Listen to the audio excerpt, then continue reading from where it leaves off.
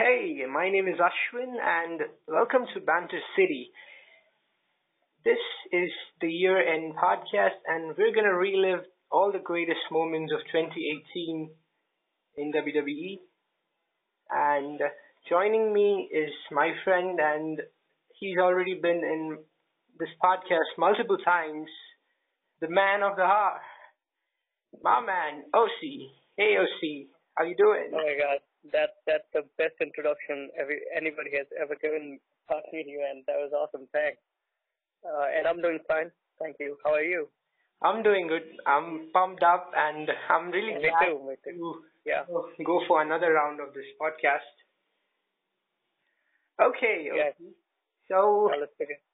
all right. Uh, so, just like we used to have Slammies in WWE, we don't have it anymore. So, we have decided to compile a list of awards that each of us are going to give to a superstar. So, there's a list of titles and there'll be awards too. So, we'll start with the superstar of the year. So, Osi, who are your picks?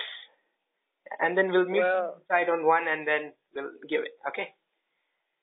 Yeah. Okay. I mean, uh, I I actually gave it a thought. You know, I thought about it. You know, for a while. You know, uh, we talked about having a podcast last last night, I think, and you know, I thought about it, and you know, I I I you know, I kind of didn't see any clear winner of this because you know, first I was thinking about Seth Rollins, and you know, Seth Rollins started there with you know, he was on the top of the world. He was intercontinental champion and you know he was defending every week and you know but you know then shield came back and you know that you know that magic that he he has been creating every week on raw got Yes. thrown away somewhere so you know for a while we didn't even knew that you know intercontinental championship became you know basically it became like a universal champion you know nobody was discussing about it but you know and so you know Seth Rollins was you know should not be the pick because you know he was on the top for you know for half there, and then you know he, he the his grab just fell down. So you know, and then I thought AJ Styles, but you know AJ Styles has been on top, but you know his performances has hasn't been so good like he was you know in 2016 or 17. So and then I saw NXT where. And you know, it didn't took me long. You know, it has to be Tommaso Ciampa. You know, the man is like, you know, the best heel that I've ever seen, and you know this clearly has been his year because Mm-hmm. you know, There's yeah, no arguments, you know, Tommaso, really. He just personifies Yeah. everything he does. yeah, exactly. We haven't seen you know a heel like that in WWE. You know, we have never seen. You know, he is you know the kind of magic that he creates online on Twitter. You know, his Twitter account is like really fun to follow, and you know his tweets are you know he the guy you know he owns that character. So I think it has to be Tommaso Ciampa, and he is the champion right now, and he's on the top of the world. He's, you know, Yeah. he's a treat to watch. Yes, I agree with Tommaso, but my pick is going to be Rollins because this year Rollins has, you know, come out like Yeah. anything because Rollins was supposed to be uh, the biggest draw as per, you know, as per Triple H, I believe, because he was the first NXT champion, and uh, over the years, as he tried to be the babyface, it wasn't quite working. But this year, especially after Dean exited due to his injury, Rollins has totally cashed in, and that Burn It Down addition to his theme song has really set the floor for him. So, Yeah, I, Rollins, yeah, you're, you're giving to Tommaso, right? yeah, yeah. I, I'm with Tommaso. I'm still with him. Yeah. You know, but Rollins, Rollins has been carrying the carrying the Monday Night Raw. You know, yes. this whole year. It's Monday Night Rollins. Yes, exactly. Okay, so that was the superstar of the year. Now, now that although we're saying Rollins and Tommaso, there have been a lot of many su- other superstars who too have caused a stir in the way of things and have created a huge wave among the WWE universe. We're talking about the break, the breakout superstar of the year. That is the best comeback or the return superstar. So, who's your pick, Osi? Or shall I go first? Yeah, you can go first.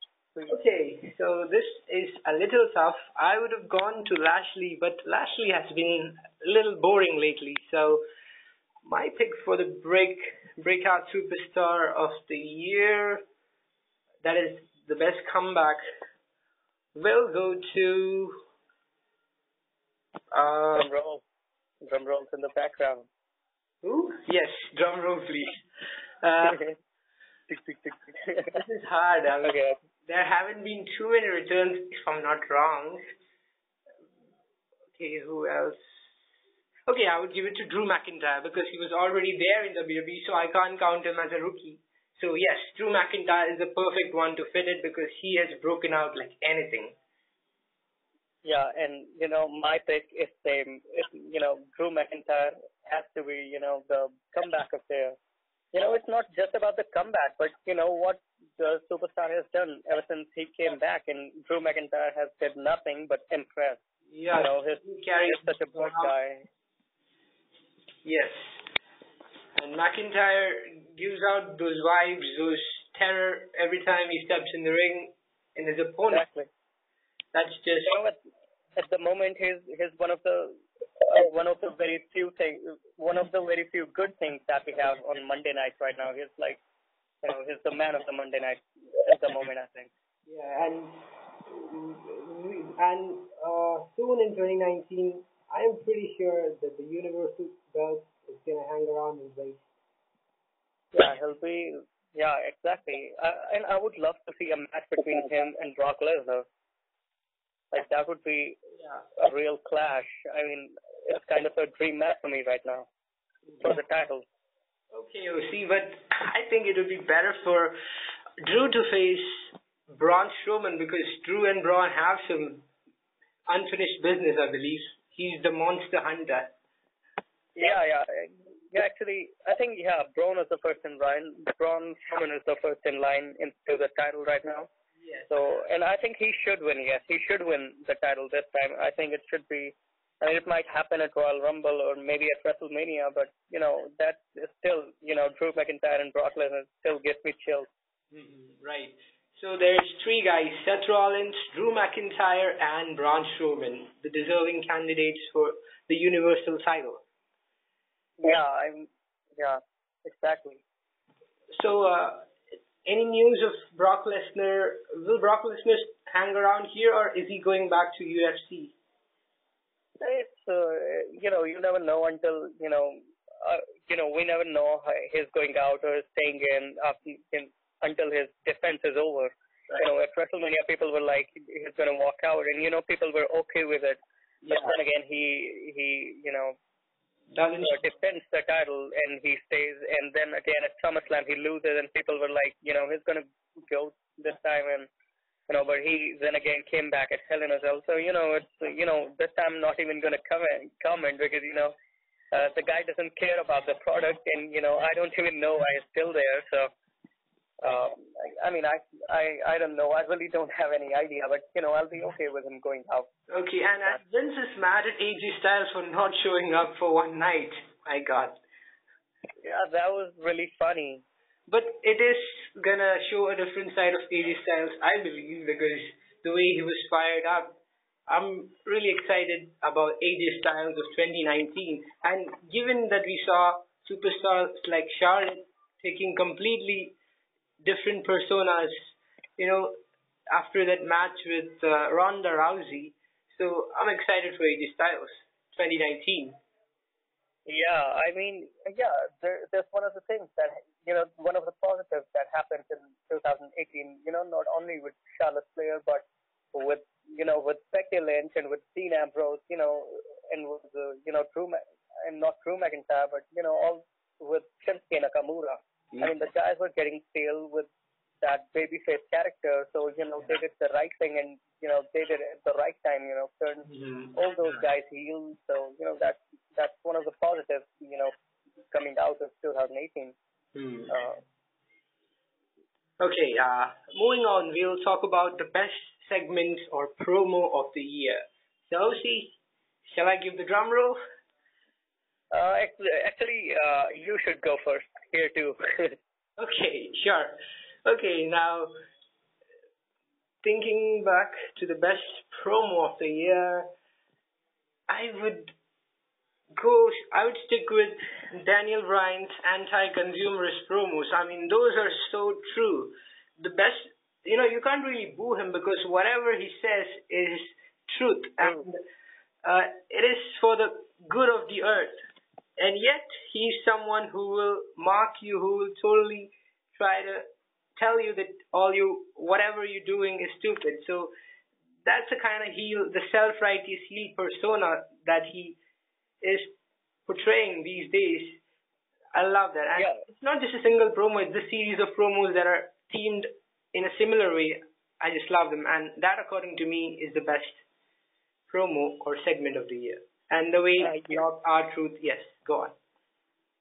Yeah, I mean, uh, the uh, few promos, uh, you know, there have been, you know, some really good promos this year, but I think I'm gonna go with the mm-hmm. uh, uh, with cutting edge at SmackDown 1000. I mean, it it wasn't very big of big of a promo, but every time I go back and wa- watch it, it was you know with Becky Lynch as the guest.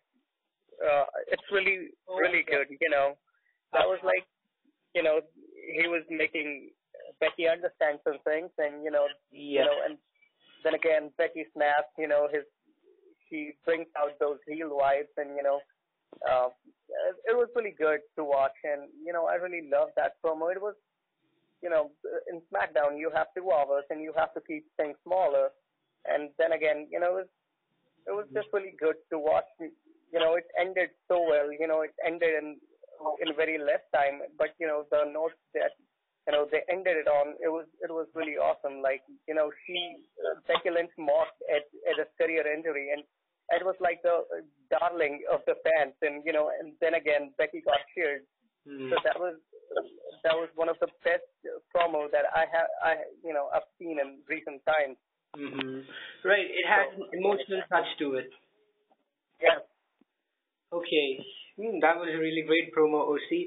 Uh, moving on, we'll talk about the female superstar of the year.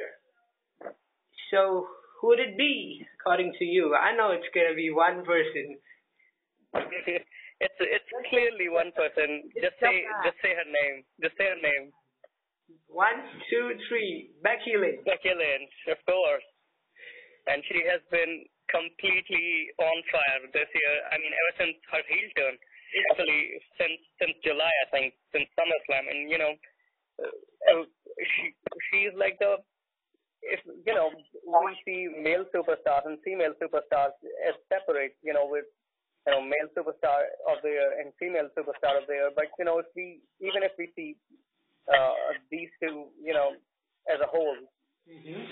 Will be the number one WWE superstar of 2018. You know, she just completely changed her game.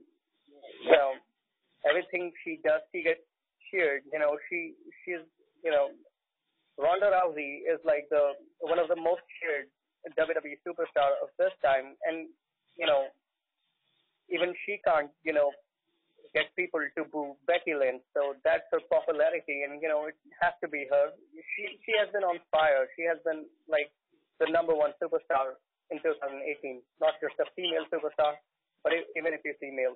Yeah, and she's even after Nia Jax broke her nose, she's used that accident so uh, to such a good effect that her career has really stood out amongst the other. And uh, ever since Becky snapped on Charlotte and changed her persona, the SmackDown Women's title has gone to the main event of TLC and all other SmackDown shows.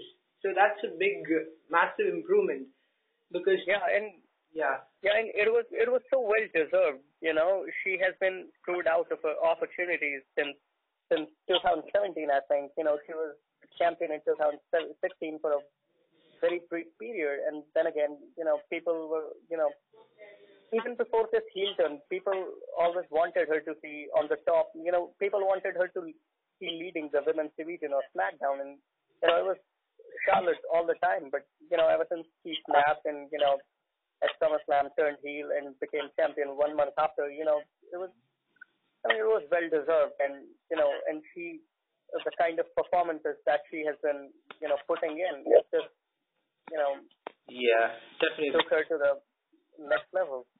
Right. So, talking about performances, let's look at the match of the year. Okay, see. Uh, now this is a really tough one.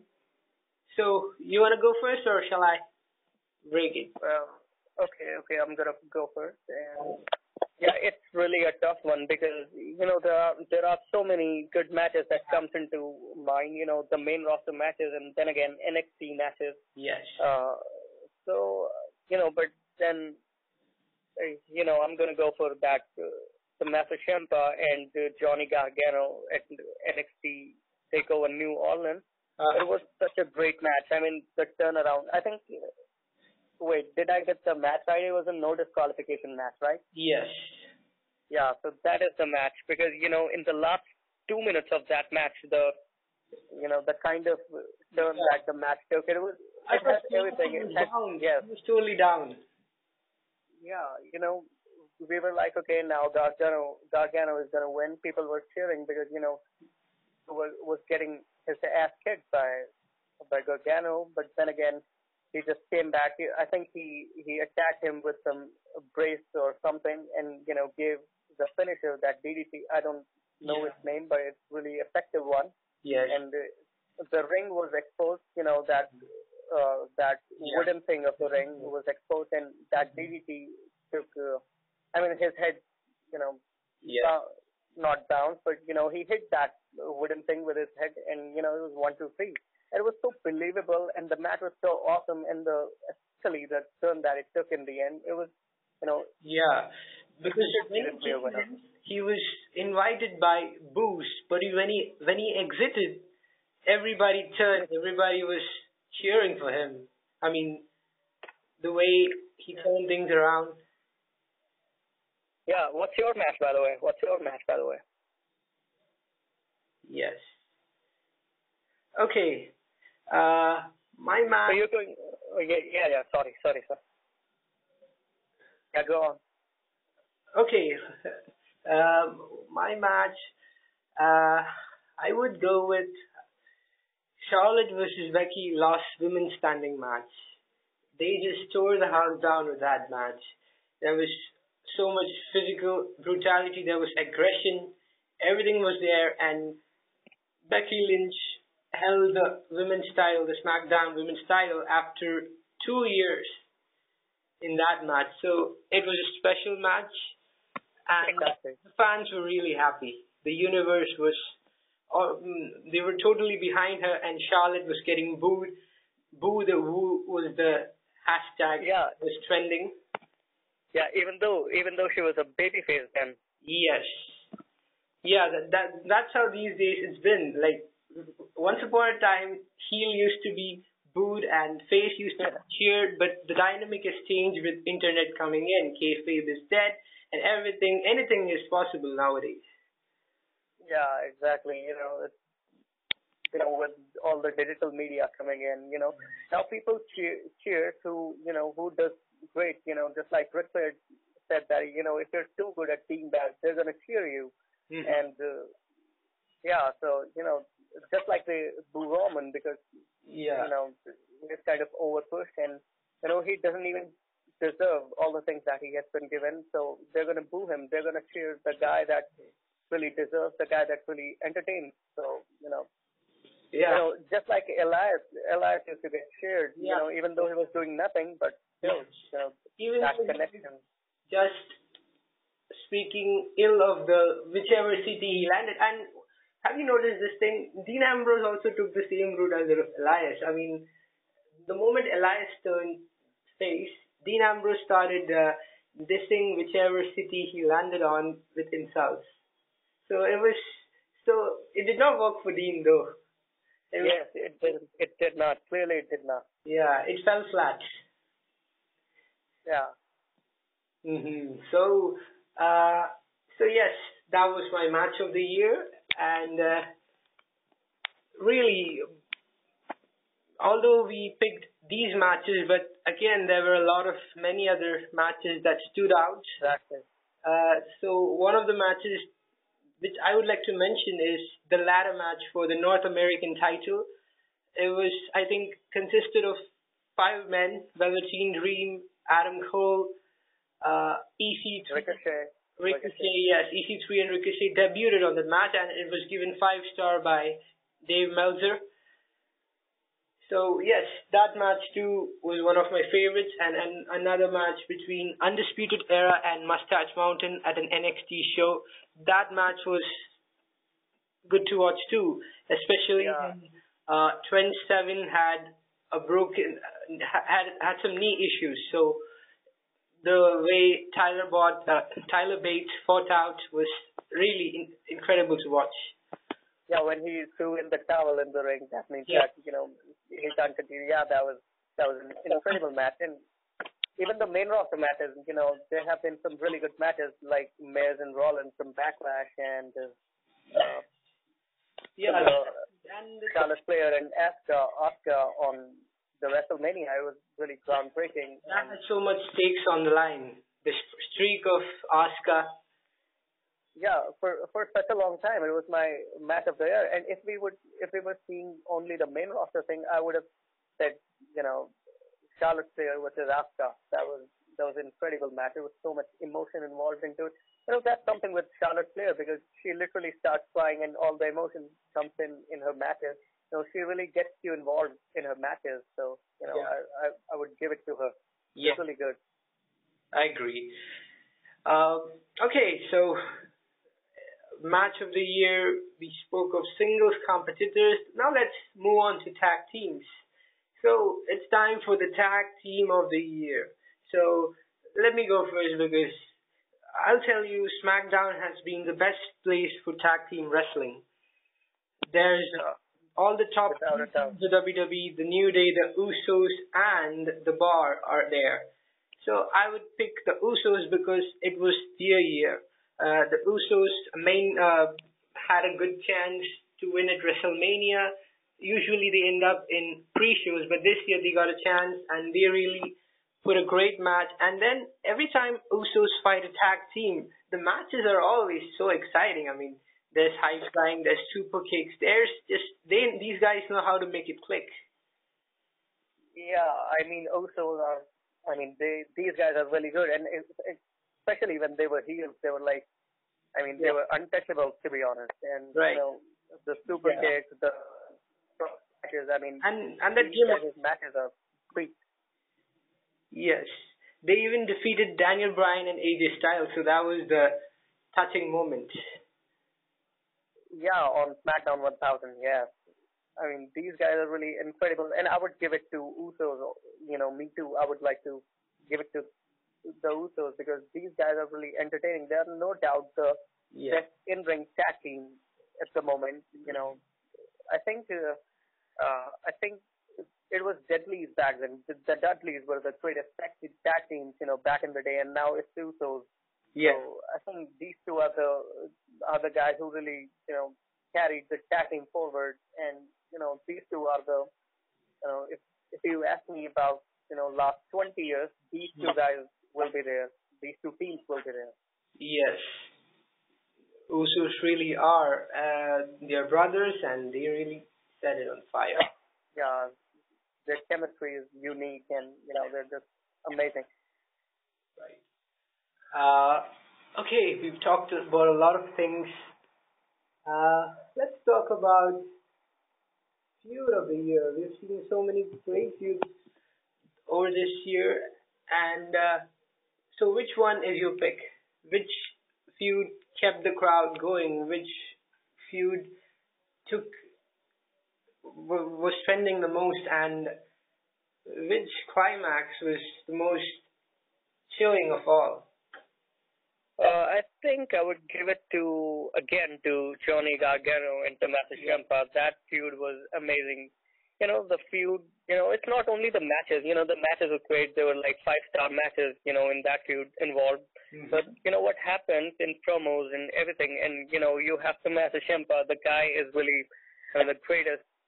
You know he's one of the best mic superstar with the greatest mic skills, and uh, you know, he really gets you involved with whatever is going on. You know, you feel, you know, you just feel into it. And Johnny Gargano, he's, you know, he was the big babyface back then. Yes. And uh, you know, with her wife, and, you know, whatever happens there. So Yeah. yeah. And uh, you know, whenever that feud uh, they had matches, it's always the bad guy winning. And now, as we see NXT, it seems like we're gonna have a heel DIY. Yeah, yeah. Somebody said to me when the feud was going on, and I was like, okay, that's not going to happen, and you know, especially not, you know, in any near future. But you know, uh, it's, it's going to happen soon. I think it's going to happen soon, and uh, you know, it will be so believable. You know, with all that condition for for Johnny Gargano, it's going to happen, and it'll be great to watch. What's your What's your feud of the year?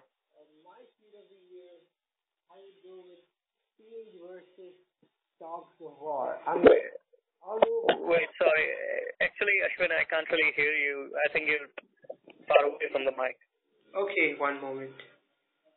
Yeah, yeah, I can hear you now. Okay, uh, I would pick the Shield versus Dogs of War because that match, I, I know most people did not particularly find it interesting, but I really enjoyed it because the way things were turning, especially when Braun Strowman was trying to cash in on Roman Reigns, how Ambrose and uh, Seth Rollins assisted him and prevented him from cashing in, and the way the story flowed and it moved on till you know Roman exited. So it was it was a great feud, and with such big big guys, all the you know all the top dogs in WWE battling it out. So it made Raw watchable for a good two month period for me.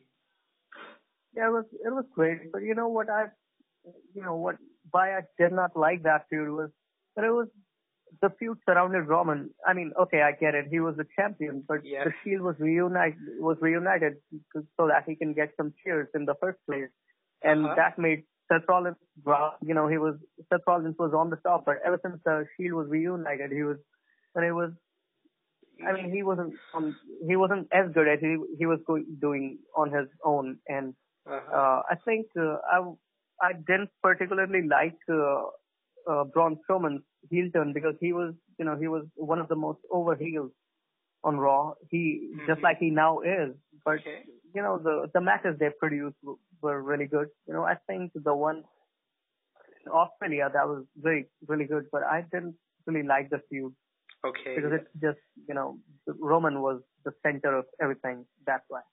Uh, well, you can say that kind of, but nonetheless, it was. Uh, I enjoyed it because it was the yeah, it was, physicality it was of the matches. Yeah, it was. It, and it the was way so it got better than what is. Yeah, Yeah. yeah. Go on. Go on. Go on. Okay. Uh, now that we spoke of all the good moments in WWE, let's talk about the worst moments in WWE. The moments that made you question who booked it all. So let's talk about the worst booking decisions, the worst feuds of the year. Okay, you go first because I know what mine is. Okay. Uh, I'll have to scratch my beard for a moment. Yeah, I I had to do it too, so that is why I I you know Okay. did some surfing. That was a clever tactic. Okay. Yeah. uh, thinking back, I would uh, go with uh, I would go with Jinder Mahal versus Roman Reigns because uh, look Ah. at both these guys how disproportionate they are at their levels. Roman has been beating Brock Lesnar and all the big guys, and here they are giving him Jinder Mahal, who's and ever since Jinder Mahal had his feud with Roman Reigns, he's been on the decline. I mean, he went from the modern day Maharaja to just mm, repeating the same thing, Shanti, Shanti. So Yeah, it, it really got cringy. down Roman Reigns, and every time a feud brings down a wrestler, that is a bad feud, in my opinion. What yeah, about you? exactly, man. That that's uh, I mean that is such you you put it like really great. Uh, yeah, that was like one of the worst thing, and the match itself was like Yeah, uh was like boring, to say the least. right. Although Jinder has really improved his in-ring abilities over the years. Still, that feud really brought him down. And uh, also, I think we've covered pretty much everything. No, wait. Actually, I'm I'm gonna tell mine now. Okay, yeah, please. Uh, so there have been a lot of them, like uh, Shawn Michaels coming back from retirement. That was the worst decision because the storyline that he went out with was so perfect, and you know the match itself was so boring and cringy, and he wasn't really uh, a sexy boy well, uh, anymore. Uh, well, to be honest, Osi, but, Shawn Michael coming out of retirement, I I agree that the matches were bit dizzy because they were they are old men and they can't put five star quality matches which would you know make us enjoy. But nonetheless, they were the box office attraction for those two shows. So I think they achieved their purpose quite well. Yeah, yeah. And the other one that I'm gonna I should say is Brock Lesnar winning the Universal title again. I mean, you look at what was happening in the Raw, like, you know, yeah. fans made it completely clear that they did not want to see any any part timer as the world champion, and yes. especially not Brock Lesnar, somebody who doesn't care about the fraud product. And then you and you had Braun Strowman, the guy who was completely over, and people and someone who people really wanted to carry that title now, and you know it was his time but what they did, they completely buried that, you know, they yeah. completely, you know, buried that guy right. fights, I think, and they gave back the title to someone that, you know, that will not even show up. So I think that has to be the worst decision they made this year. Yes, this time I agree because I was so happy to see the Universal title finally back on Raw, but then again, it's disappeared. So this time I would agree with you. oh, finally, at least we agree on. No, okay, we agree on Becky Lynch too. So there's a yes, second and one that we. There was one more, I believe.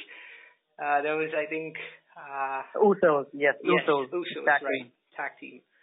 but I mean, with Universal title, that you what's happening now that it's not even getting mentioned on Monday Night Raw, and that is that is you know a bad thing.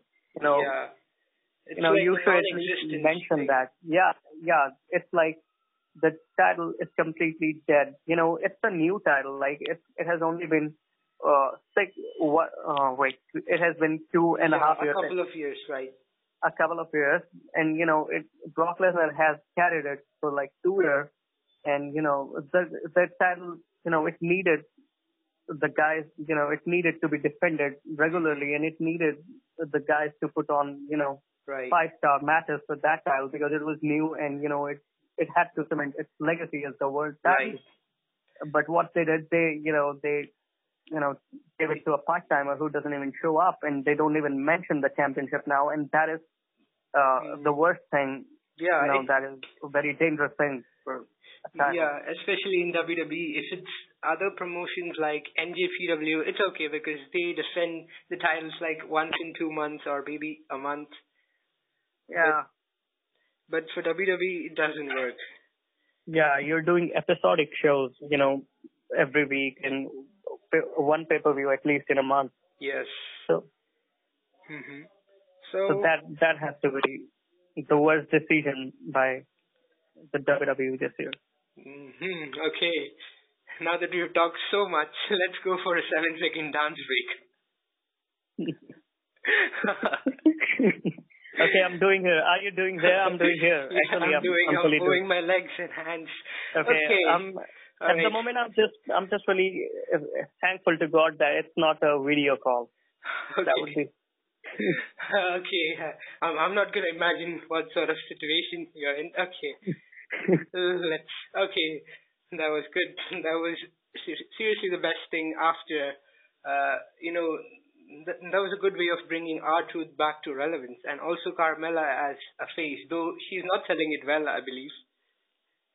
Yeah, but you know she's doing. You know, I like her more now than I like her when she was a champion. Yeah, she's trying a lot though to be face. Yeah. Uh-huh. I mean, she's not. Uh, she's not of the same level as Becky Lynch or Charlotte. No, she's nowhere but, near. You know, right.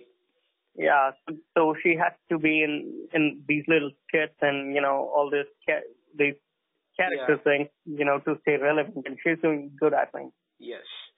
And uh, also the weird after-match promo they cut uh, after the finals of the mixed match challenge. That was really weird, right? Yeah, I was I was watching it. I was like, okay, man, what are they doing? You know, is this funny? Is this thing funny? And I was like, no, I don't think. You know, people were silent.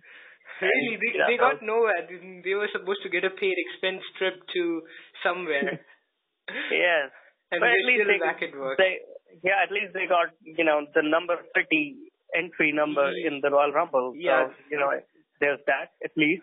Yeah, um, I have my fingers crossed for R Truth to eliminate the final one and challenge Yeah. Bryan.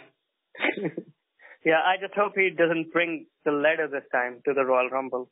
hmm He did it once, I think, in 2016. Oh, uh, yes. Uh, okay, I've forgotten about that incident because every time I think of the Royal Rumble, uh, I think of Titus Titus O'Neil falling inside, you know, below. Yeah, man, that was that was like the the I I was dead laughing when I saw it. I was was watching it on phone actually. I was watching it on Geo TV, and Okay. you know, and I was like, man, what is this doing? And you know what, how internet has you know trolled him for you know they still troll him for that. Yeah. And you know that you know any even WWE made it a thing. You know the next Yes. year, uh, the next week, sorry, on Monday Night Raw. You know, he, he was tripping and tripping in front of Ben Corbin to just to piss him off, and you know they made it a thing. Yeah. And uh, he was interviewed by Gallows and Anderson uh, for an episode, for the first episode of Botch Club, which was which just came out two days ago. I even shared the link in the group. So uh, when asked about it, Titus was saying that he was looking for, he intentionally did it, and he was looking for Hornswoggle. Sorry, actually, yes, I I didn't quite get you this time. Uh, so Titus said that he he did it intentionally, and he was looking Yes, for yes, yes. that little bastard Hornswoggle. oh yeah, Hornswoggle was there too in the Royal Rumble. Uh, so yeah, you know, even this year we had so many great moments, but I, you know, there's we had two of the worst pay-per-views ever this year: the yes. Backlash and Crown Jewel. Yeah, I, I would agree for Crown Jewel, but Backlash, I can't even think. I, would- I would go with Fastlane. Fastlane was the worst pay per view. Man, Fastlane had like the you know the six-man match, the AJ AJ Styles, Sami Zayn, uh, Kevin Oh, Owens, yeah, yeah. Corbin, John Cena. That was that was a really good match, to be honest. yeah, I take back. Okay, so, So- we had two pay per views in Saudi Arabia. Greatest Royal Rumble was bearable, but Crown Jewel was shit because the World Cup match was an absolute joke. Yeah, I mean, yeah, it was. Just, I would not even. I was like, what? What were they doing? I mean, they just took a guy, the guy who, who you know, who wasn't even a regular, you know, the regular. Mm-hmm. Performer in the, regular in the- Uh, yeah, yeah. He, they took him, and he just entered himself into the match, and he wins it. I mean, that was. Yeah. I mean, I was I was even happy that you know Miz and Ziggler was at the finals because you know those two guys were you know those two guys deserve a push. You know they should have been. yeah, you that's know, like I a was regular match. Miz versus Yeah, Ziggler was- any regular day. Yeah, I was happy with. I would have been happy with either of them winning, but you know what happened was like just you know it was shit. But now And- they're using this uh, World Cup to build something up between Miz and Shane O'Mac, so that's something. But still, it's a big price to pay with the title best in the world and Yeah, making it as a joke. Yes. Yeah, I mean, even if you say that Shane McMahon is the best in the world, you would, you know, it would crack you up. Yes. Definitely. And then again, we had, you know, that tag team tag team match for to close out DX versus Brothers of Destruction. And I know you you've said about that Yeah. match what you said. I would keep that in mind. But then again, that match was man, you know, Yeah, it, it was boring, I would say, but the finish was good, and uh, it, it really, you know, brought a lot of a decade, uh, like many decades of fandom came together to watch that match. So it was special in its own way, even though they put up a sloppy match. We can forgive that. Come on. yeah, and And I think it would have been better because I think uh, uh, Triple H was injured midway into that match, so Yes. I think that That was a bad is why. Hmm. Yeah. Right. Okay, Osi, I think uh, we've talked a lot about this and it really has been a smooth sailing podcast because usually we sometimes botch, but I believe this time we have done it quite this well. time I I almost did it, you know, in couple of couple of different times, but I think I managed I managed to come come back. Yes. And yes, Ah. that's what it's all about. We keep improving every time we do it and Yeah, exactly. I'm really grateful for your invitation yesterday and No, man, actually, I actually so much missed these. You know, I can't even tell because, you know, actually, I was, I was, oh, when you, you know, yeah. stopped doing them, you know, I was actually so much free because I just, my exams were just finished and I was like, okay, Oh. man, you know, I was making my own videos, you know, I was making Yeah. them, you know, I made two of them. Yes, and I those was- were much I- better, I would say, because you, you you were narrating it so well, and you were putting a lot of effort compared to me, because I'm a kind of a lazy YouTuber who just records and just puts it. Mm-hmm. So that's, that's very good of you. Oh, thank you. That's very nice of you. Even though I was, you know, I was like, you know, I could have done so much more with them, you know, but I didn't have time. So, Mhm. you know, this is, you know, we, this thing we can finish it up in like one hour. You can record it, you can upload it, and you know that takes time. So this is something I I love more too. Oh, that's so happy. That makes me so happy because uh, Mm-hmm. I started this thing like I was too bored on January 1, no friends, nowhere to go out. So I thought, okay, let me make something up. So I was inspired by listening after, you know, people like Colt Cabana who have their own podcast and also our group. Without our group, nothing would have been possible. So you guys are the sole Yeah, inspiration that's for me Yeah, this. that. Yeah, thank you. That that's the sweet of you, man. That's really. Thank you. Yeah. It's really fun. You know, it's really fun, and that you know, me say me asking you for you know doing them is you know, I think it's enough for for me to tell you that how much I like being here. Yeah. so we're all brought together by wrestling. So yes, that's that's a good thing. Uh, so Osi, we're at that time of the year, and uh, wish you a happy New Year, buddy. I hope you Yeah, you too, man. do you too, man. keep that fire, which you do things, which you study and progress in your Thanks, life. man. So Thanks, man. You too. Going. Thank you, buddy. Maybe you all maybe you all have a yeah. happiest and the Yes. You know best year we ever had. Yes, and hopefully we innovate something in this podcast because audio, this audio is really great, but to draw more people, we definitely need to do something better because that's how wrestling works, right? We Yeah, do exactly. something better every time and we innovate. So, all right, thanks for your time, buddy. Really appreciate that and And it's happy 2019 and thank you all for listening. Hope you have a wonderful new year and have a blast. Bye bye.